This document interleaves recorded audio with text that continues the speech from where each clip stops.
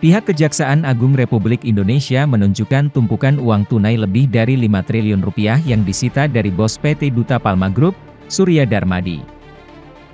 Uang tunai tersebut merupakan barang bukti dari perkara tindak pidana korupsi dalam kegiatan usaha perkebunan kelapa sawit PT Duta Palma Group.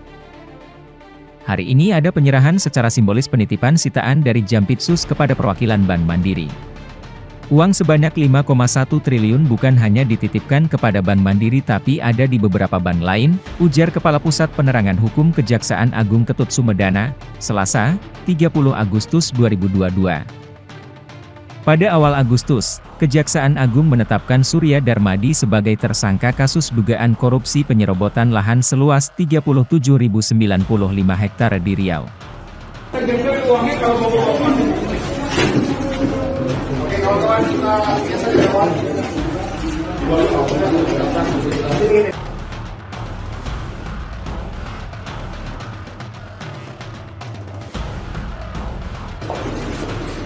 아, 안녕.